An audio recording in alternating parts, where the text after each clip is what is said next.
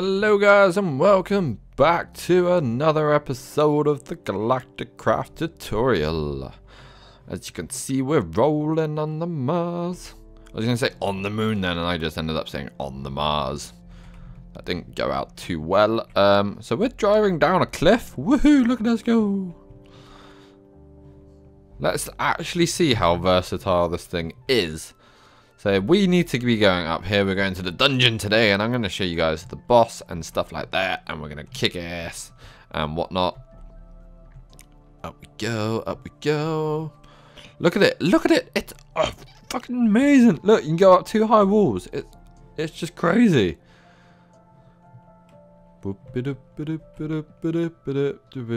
Probably be easier to jump this, but you know we're we're gonna we're gonna do it in style in our little car. So this is about three, 400 meters away. So we're going to see exactly how much fuel we've used doing this. We can sort of then gauge, uh, like if we stop here. Yeah, it's about 300, 300, and we used 6% of fuel. So must use 1% every 50 meters, which means you can travel 5,000 meters with the buggy before it run out of fuel, which is pretty nifty. That's pretty cool. I think math works out there somehow.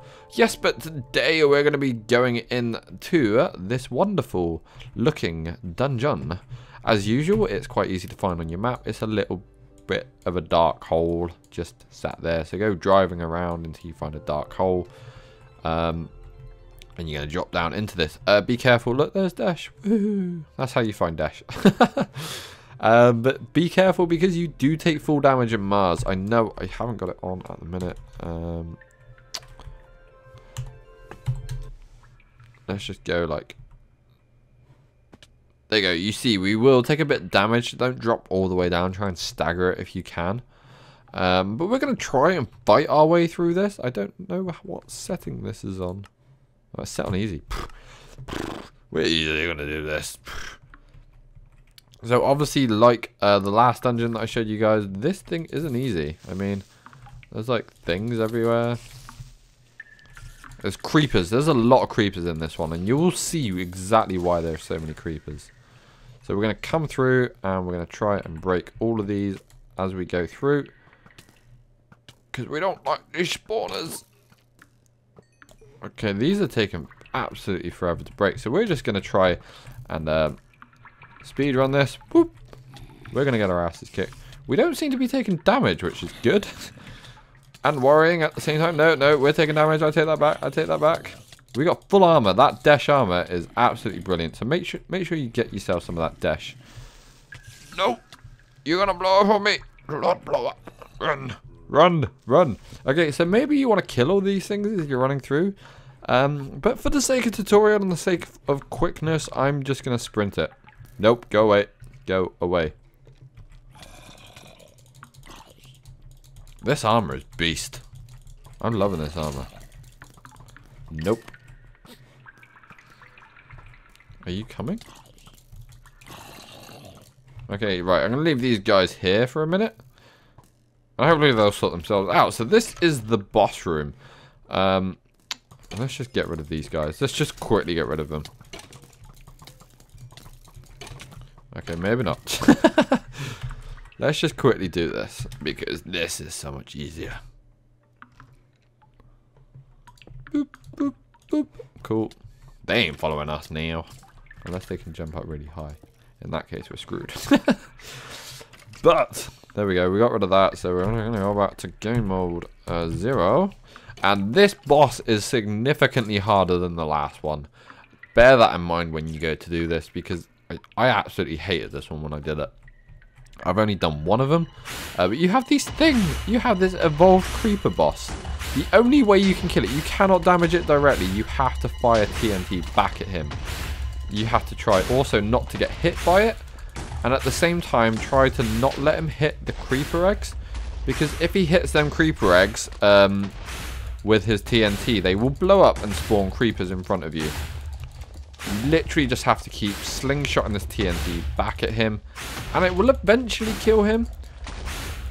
I really hope I don't die doing this.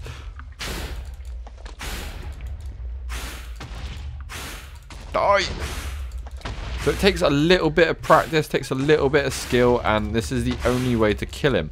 As you can see, his heads are slowly going away every third life we take away, and the environment around will blow up. Just make sure he doesn't hit them creeper eggs, because you do not want creepers blowing up behind you while you're trying to defeat this boss.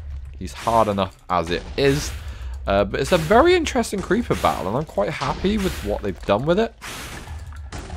Definitely adds a completely new edge uh, to boss battles.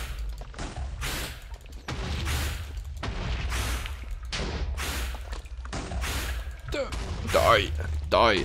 As you can see, it does take a lot to kill this thing. And obviously, if you're like you're not having good armor like I do, like Desh, Desh is good armor. I didn't realize how amazing it was. And then he gets his protective shield thing, or he just goes like hyper mode. I don't know what that thing does. As you can see, he's still taking the six damage he's been taking this entire time. I don't know what that thing there does. I think if you get close to him, you'll probably die or something. Um, whoa. But yeah, you do not want creepers blowing up behind you. If you got tinkers on... Oh, fuck me, that was very close. There's a lot of creepers there. If you have tinkers on, you will get this thing called a miniature yellow heart. This is... Because oh, obviously it's a boss. You also get a fuck ton of XP. And I mean like a literal ton of it. You'll also get your tier 2 key. Fantastic. We love these things. We love the dungeon keys. Um, these creeper eggs, you cannot harvest them whatsoever. Um, if we go back to I, you can't harvest it with a pickaxe, you can't harvest it with anything. If you have a way of moving blocks using like entity transporter, you can move them. I have one at my base, it's pretty cool. I might grab some more in the future. Um, but yeah, just uh, after you've done all this, come through the blowing up room, which is inevitable, and then you're going to come up to this thing called, uh, you're going to come up to your tier 2 treasure chest, use your key on it like a so open it up and you will find yourself a schematic. Well, not all the time, but you probably will find a schematic. Um, like I said before, these chests are not harvestable either. Uh, they will remain there unless you get another matter transporter. Um, if you have practicalities, I just want to quickly show you the, this to you guys because it is nifty and it's very useful. Um, matter. Matter. Matter Transporter from Practicalities mod. Very simple thing to make. Nope, go away. It's like two ender pearls, a diamond shard, which is you get three of from one diamond, and a stick. And this will basically allow you to go like that. Shift click it, place it down. This is how I moved this and the creeper eggs to my base. Pretty nifty little things. Um, but yeah, so let's open our chest here. We got ourselves a tier 3 rocket schematic. The other one you can get is the automatic cargo rocket. Uh, so go around, discover dungeons, and try and get all your schematics, like I said before, and then we in the next episode we'll show you how to use all of them, etc., etc. Um, and you got stuff like whatever mods you've got, you'll get some random stuff in here. Like you got wheat, I've got some ender lily seeds from extra utilities, got some forestry, drone thing there, some quartz, bit of steel from Railcraft, uh, MineFactory Reloaded, Blood Magic, Ender IO, Britannia. You got all kinds of crazy stuff in this chest. Um, but yeah, it all depends on what mods you have, I guess. Um, but yeah, so you guys want to go around and you want to find all these dungeons and you want to try and get as many schematics as you can. And then obviously the way out is the way back. And you can also, like, once he's blown up, you can literally just drop down here and get a shit ton of desh. Like, it's not that hard to find it. Um, see if we can find torches. No, we can't find torches. But yeah, you can just, like, literally run around here and look, there's desh, there's more desh. Uh, there's more down there, probably. I don't want to go down there. Let's just fly out of here quickly. Uh, but yeah, so yeah, don't just leave. You can drop under the floor. There tends to be normally be like a cave under there. And we're just going to run through here. And we're going to run all the way back out. Make sure you also bring a block to pillar up with. Actually, the creeper will blow up enough to give you enough blocks. So we're just going to be like, boop, boop, boop. You can only jump like so high. I'm not going to fly out. I'm going to jump out to show you guys kind of what you want to do to get out of this thing. So you want to jump up like that and place like a block and then jump again. Once you start slowing down and hitting your peak height, just place a block. Like so. If you just aim down like that, you just you'll eventually just keep going up, and then you'll get to this point where you can just naturally jump out pretty much. And then ta-da, we're out. There's our swaggin' wagon. Swaggin' wagon. I like the name of that. You shall forever be named the swaggin' wagon. And then just get your swaggin' wagon and off you go back to your little landing place, home base thing, wherever wherever you may be. And then you can drive yourselves back across the yonder. Ignoring all the creepers and monsters on the way. We're not going back down there because it was a little bit of a mission to get up. And it was very unnecessary. So we're just going to drive around. Like a soul, like a soul. And then I'm going to drive down this way. I'm going to drive back onto our landing pad. And we're going to get ourselves home. I'm going to show you guys in the very next episode how to make your cargo rocket, how you're going to make your uh, tier 3 rocket, what it's going to do. And then we're actually, no, the next episode is showing you guys the machines and all that cool stuff. So we didn't use that much fuel and we've come back and it's just like fueled up instantaneously. It's freaking awesome, man. But yeah, so that is going to be it for today's episode. Do not land on the wheat. Fantastic. Cool. Uh, so that is that's all. Uh, so go ahead and go find them dungeons. Good luck with the creeper boss. It can be a bit of annoyance, a bit of a pain. Um, I'm really interested to see what they're going to bring with the mob bosses in the future, though, because they're slowly, because obviously they're going to get a lot harder.